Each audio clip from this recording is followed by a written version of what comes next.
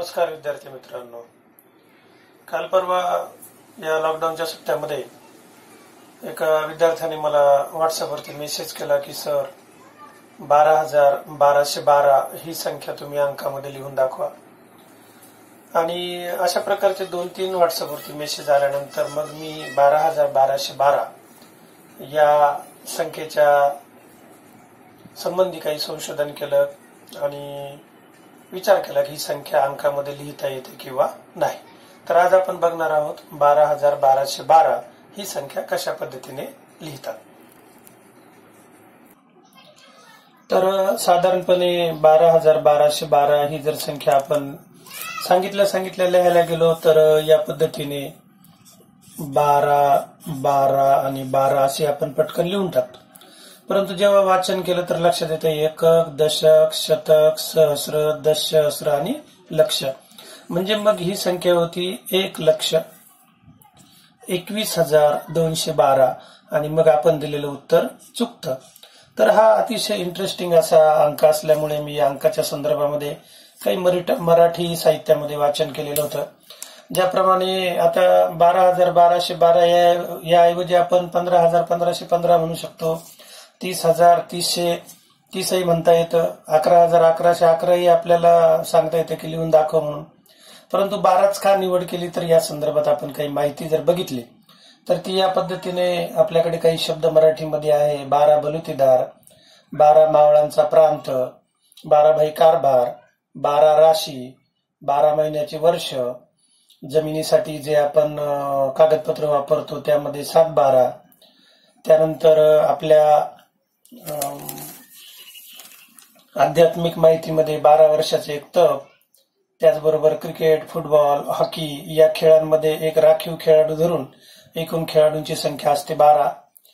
त्याचबरोबर बाया बायांचं भांडण लागलं तर बऱ्याचदा बाया म्हणतात मी काय साधी आहे का? बारा गावचं पाणी पिऊन आली त्यानंतर आपल्याकडे बऱ्याचदा जन्म झाल्यावर काही समाजामध्ये बाराव्या दिवशी त्या मुलाची बारी साजरी करतात. त्याचबरोबर महाराष्ट्रातील प्रसिद्ध विकसित अतिविकसित मतदारसंघ तुमच्या सर्वांच्या ओळखीचा बारामती. त्याचबरोबर बारा वस्तूंचा एक डझन असतो. एक डझनामध्ये बारा वस्तू असतात. त्याचबरोबर प्रसिद्ध असं गाणंही आहे महाराष्ट्रामध्ये आता वाजले की बारा. आणि एखाद्याचा पार बऱ्या वाजला तर आपण म्हणतो त्याचे पार बारा वाजले. आणि आपल्या मराठवाड्यामध्ये एक सुप्रसिद्ध अशी लाडातली रागातली शिवी पण आहे जी की तुम्हाला माहिती आहे. तर ती तीही बारापासूनच सुरुवात होते.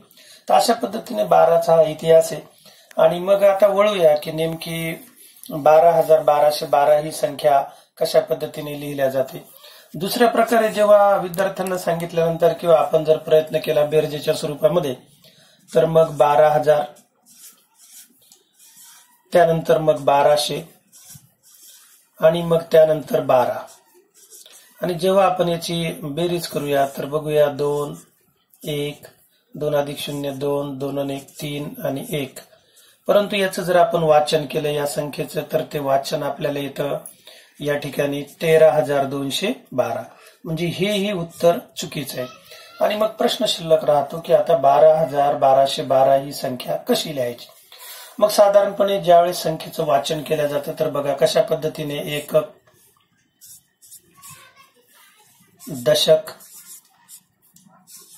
याला शतक याला आपण सहस्र किंवा हजार म्हणतो आणि याला आपण दश हजार म्हणतो. मग आता या संख्याच्या अशा पद्धतीने वाचनाचा विचार करत असताना संख्या वाचनामध्ये एक मूलभूत नियम एक मूलभूत नियम म्हणजे गणितामध्ये काहीतरी ग्रहितक आपण काही ग्रहितक धरलेले असतात. त्या ग्रहितकाप्रमाणे जेव्हा यामध्ये आपण संख्या लिहितो तर त्या संख्यामध्ये कधीही दोन अंक येत नाही. म्हणजे अशा पद्धतीचा तो एक आपण रकाना मी तुमच्यासाठी या ठिकाणी काढून दाखवतो. आणि मग याद्वारे तुम्हाला या संख्येत लक्षात येईल की साधारणपणे उजवीकडून डावीकडे आपण सुरुवात केल्यानंतर या ठिकाणी असते एकक. इंग्रजीतून त्याला म्हणतात युनिट या ठिकाणी दशक इंग्रजीतून त्याला म्हणतात टेन्थ प्लेस या ठिकाणी शतक. या ठिकाणी हजार या ठिकाणी दश हजार आणि या ठिकाणी आपण लिहित असतो लक्ष. तर अशा पद्धतीने ह्या संख्याच्या वाचनामध्ये तुम्ही जर लक्ष दिलं तर नेहमी या ठिकाणी एकक असेल दशक असेल शतक असेल हजार असेल दश हजार असेल लक्ष असेल तर इथं आपण एक एकच अंक लिहित असतो. आणि म्हणून ही जी प्रस्तावित संख्या आपल्याला लिहायला दिलेली आहे किंवा लिहायला विचारतात तर ती बारा हजार बाराशे बारा ही संख्या आपण लिहू शकत नाही. कारण तसं जर लिहायचं तर या ठिकाणी आपल्याला लिहावं लागेल बारा हजार बाराशे आणि मग इथे येतील बारा. आणि हे अंकशास्त्राच्या गृहितकानुसार चूक आहे. आता दुसरं उत्तर पाहत असताना मराठी बोली भाषा असेल किंवा हिंदीमध्ये असेल आपण बाराशे वगैरे असं म्हणतो. परंतु सवयीने हे म्हणल्या जातं बाराशे तेराशे चौदाशे. परंतु अंकगणिताच्या भाषेमध्ये असं कुठलंही शब्द नसतो. बाराशे ज्यावेळेस आपण असं लिहितो याचा मराठीतून अर्थ अर्थ होतो एक हजार दोनशे. काय अर्थ होतो? एक हजार दोनशे. आणि मग जेव्हा आपल्याला एक हजार दोनशे लिहायला लावल्या जातात तर आपण या ठिकाणी एक लिहिणार इथं दोन लिहिणार पुढे दोन शून्य लिहिणार. याला आपण सवयीने बाराशे म्हणतो परंतु एक हजार दोनशे. इंग्रजीमधून मात्र असे बाराशे तेराशे चौदाशे पंधराशे छत्तीसशे वगैरे असे कुठल्याही प्रकारचे उच्चार नसतात. इंग्रजीमधून अतिशय सुटसुटीत असे उच्चार असतात. One thousand two hundred two thousand three hundred अशा प्रकारे. म्हणून आजचा जो काही प्रश्न किंवा बऱ्याचदा असं व्हॉट्सअपवरती विचारलं जातं बारा हजार बाराशे बारा लिहून दाखव तर मुळातच हा प्रश्न एकदम चुकीचा आहे कारण अंकगणिताच्या दृष्टिकोनातून विचार करताना त्याचं उत्तर या असं आहे की हा जो काही तक्ता असतो या तक्त्यामध्ये इथं आपल्याला नेहमी एक एकच अंक आपल्याला भरावा लागतो.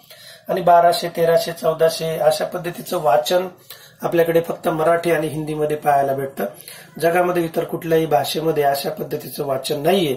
आणि म्हणून अंकशास्त्रीय दृष्टिकोनातून किंवा अंकगणिताच्या दृष्टिकोनातून बारा हजार बाराशे बारा लिहिणे हा प्रश्न चुकीचा आहे. हे त्याचं उत्तर आहे.